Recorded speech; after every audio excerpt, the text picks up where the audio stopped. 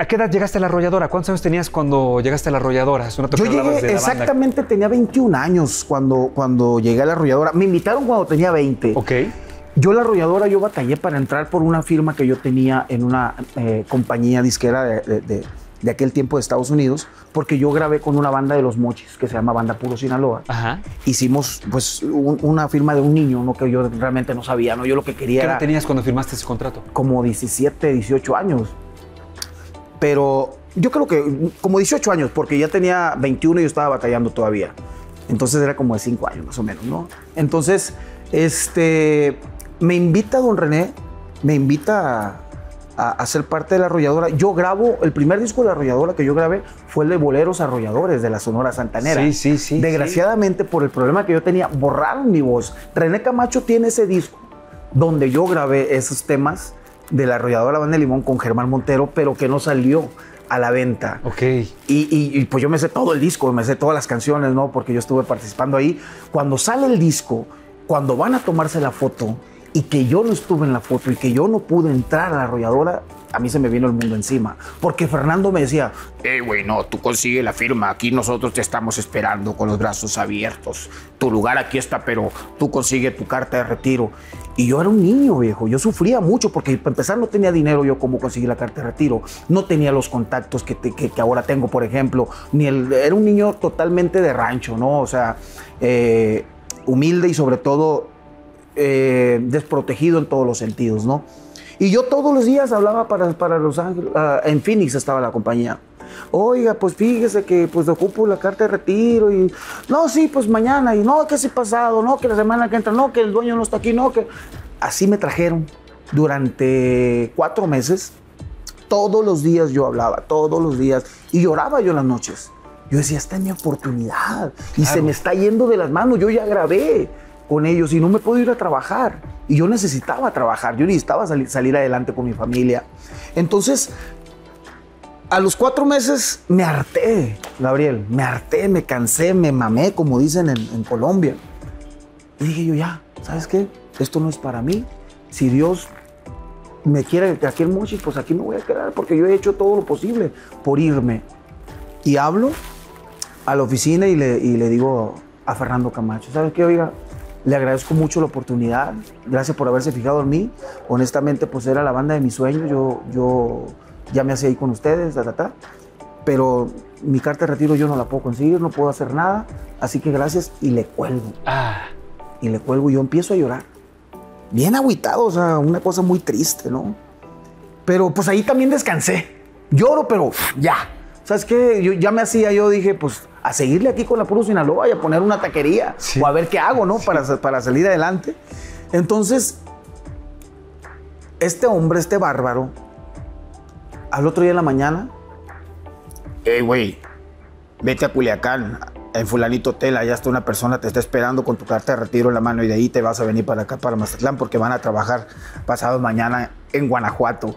hijo, con ganas de decirle, hijo de tu puta madre, eso no lo pudiste hacer cuando yo te, o sea, cuando yo sufrí cuatro meses.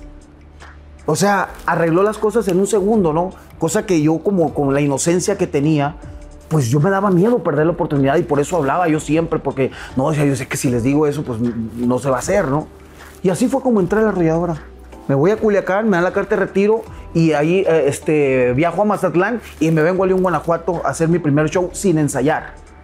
Me subo al escenario como si yo hubiera andado todo el tiempo en la arrolladora Banda Limón y ahí pues la historia pues, Wow. ya, ya se escribe. ¡Qué fuerte! Empezamos a cantar yo y Jorge como si hubiéramos cantado toda la vida. La gente me aceptó de una forma impresionante. El público estaba bien fuerte conmigo. Una energía, Gabriel, que bendito Dios, la mayoría de las veces me pasa cuando me subo al escenario. Todo el tiempo, mejor dicho.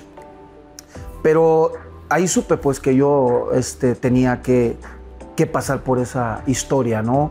Y ahora agradezco con todo el corazón a Dios, principalmente la oportunidad que me dio de vivir esa experiencia, de, de estar en esa escuela, porque más que dinero fue escuela, ¿no? La verdad. Fue algo que eh, fue un aprendizaje, ¿no? Haz de cuenta que yo estudié seis años la carrera con la arrolladora de Limón y ya como solista empiezo a ejercer mi negocio. ¿Estuviste seis años solamente? Seis años solamente. Me pareció que fue mucho más tiempo. No, fueron seis años. A mí también se me hace que fue mucho más tiempo, pero también a la vez pienso que fue un abrir y cerrar de ojos porque pasaron volando. Sí, uno fue, uno fue a la universidad. Sí. O sea, seis años de universidad. Seis años de ¿Y universidad. qué universidad? O sea, Sí. wow. No, la verdad sí. Honestamente yo le doy gracias a la vida porque, repito, de, de- de la vieja guardia, yo creo que la mayoría de nosotros, los, los cantantes eh, sinaloenses, por así decirlo, o todo la lo regional mexicano, todos los que venimos de esas, de esas bandas, de esos monstruos, eh, de esa escuela, de esa universidad, creo que tenemos mucha disciplina y somos como muy, este, eh, pues muy trabajadores, por así decirlo, y sobre todo que siempre estamos nosotros a la hora que nos dicen y a la hora que tenemos que estar y a la hora que tenemos que trabajar. Y creo que las nuevas generaciones van a batallar un poquito para, para tener esa disciplina que nosotros aprendimos. Wow. Si la arrolladora era la banda de tus sueños, ¿por qué en seis años termina el sueño? Bueno, esa es una gran pregunta.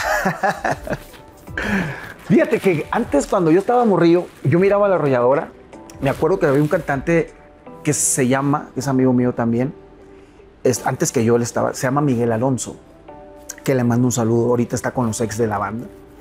Eh, y cuando sale él, todos, todo, en aquel tiempo tú sabes que entrar a la arrolladora, la banda del recodo era, wow, ya te hacías famoso en, en un instante, ¿no? Y sabías quién era el cantante y sabías quién se salió, quién entró. Ya ahorita ya cambió todo eso, ¿no? Cuando sale Miguel Alonso, yo dije, este vato qué tonto, dije yo. Yo el día que llegue a estar ahí, el día que entre, porque yo sabía que iba a entrar.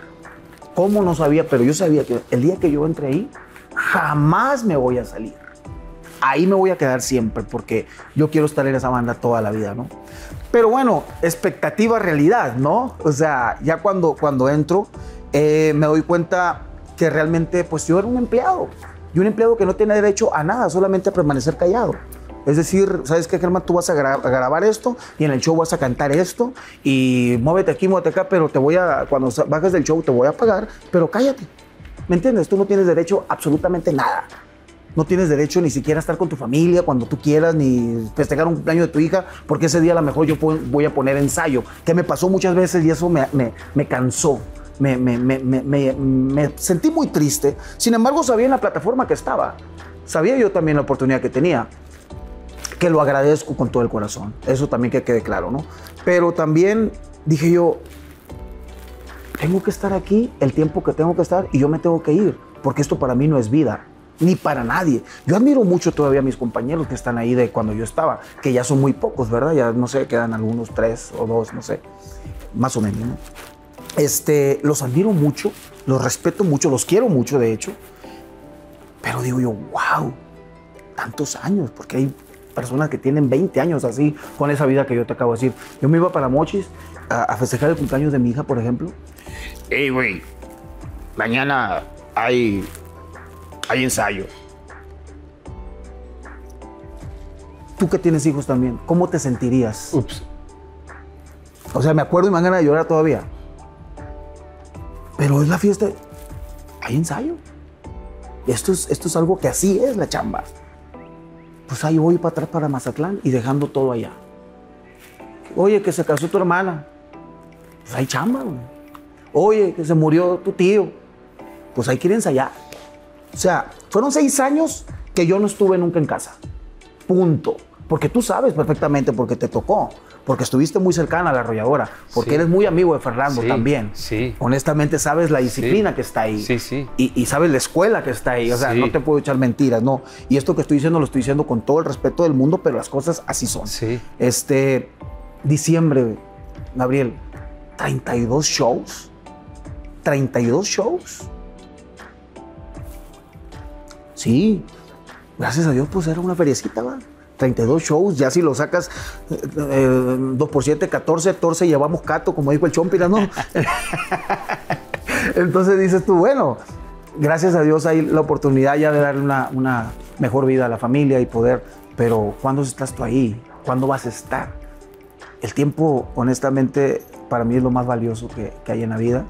Y ahorita te puedo decir que yo salgo por la puerta grande con mucho agradecimiento y salgo con un tema que se llama Amantes Escondidos, que para propios y extraños fue, un, fue un algo muy, muy fuerte. Bendito sea Dios. Porque yo la verdad cuando salgo de ahí, yo dije, yo completé mi, yo completé aquí mi ciclo. yo me iba a devolver a los mochis a poner una taquería Ok. y a ponerme a trabajar, a hacer un, un- yo, mi, mi, mi tirada era hacer un grupo versátil y ponerme a trabajar en las fiestas particulares de Sinaloa y ponerme a trabajar en el restaurantito y quedarme ahí. Esa era mi tirada, ¿no? Pero bueno, bendito Dios conocí gente que creyó en mí, grabó el disco a ver qué pasaba, ¿no? Porque ponerte a, a las patadas con Sansón y como las historias que habían pasado de los cantantes que se habían salido esas grandes bandas, nunca había pasado nada, pues dije yo, le voy a hacer la lucha para ver qué pasa. Porque las historias siempre eran repetitivas. No se salió fulano, pero pues se fue. Se salió mangano, se fue. Pero cuando grabo mi primer disco pensando en ti y cortamos Amantes Escondidos, empiezo a trabajar como loco. Y Amantes Escondidos número uno, número uno, número uno, número uno aquí en Estados Unidos y en otros Sí, países. sí, sí, sí. Y tú fuiste testigo de eso. te Sí, digo, claro, me, me consta. Sí, sí, sí. Entonces después sacamos pensando en ti y pasa lo mismo. Y después sacamos hay que borrachera traigo y después pensando que, que- que no pasa nada, que nos separa, compréndeme. Y, y- y bendito Dios, ahorita ya tenemos un catálogo muy fuerte de éxitos que como Germán Montero y un show, la verdad, eh, lo puedo hacer con puros éxitos de Germán Montero sin cantar canciones que, que grabé con la arrolladora. Sin embargo, pues lógicamente también con la arrolladora hice canciones muy fuertes. Eh, si tu amor no vuelve, entrégame tu amor, la esencia de tu vida, los puritos huesos, la suaca, Wow. muchas canciones. eh, que, que bendito Dios, hoy por hoy, lo único que hago es darle gracias a Dios porque yo soy un hombre libre, porque soy un hombre que disfruto mucho ahora el poder grabar las canciones que escribo. Puedo grabar y puedo cantar lo que se me pegue mi regaladísima gana arriba del escenario y la gente conecta más cuando tú eres más libre y más transparente hacia ellos porque lo perciben. Entonces yo tengo un contacto muy grande con, con- con la gente por eso, porque realmente lo hago con amor y a mí se me quitan todas las enfermedades del mundo se me quitan cuando me subo al escenario. Y cuando yo ya estaba en los últimos shows de la arrolladora, era al revés. Yo ya me enfermaba al subirme al escenario. Ok, ok. Entonces yo ahí dije, yo ya, ya no, yo ya no puedo estar aquí, yo ya me tengo que ir para los mochis y tengo que, que buscarle por otro lado porque yo ya no soy un hombre feliz, yo ya no, ya, ya cumplí mi ciclo. Ahí es donde yo me doy cuenta, cuando tu corazón, cuando tu vibra, cuando tu energía te dice, hazte para un lado, hazle caso de tu intuición, hazle caso de tu intuición. Y bendito Dios, pues aquí estamos contando la historia con Gabriel Roa.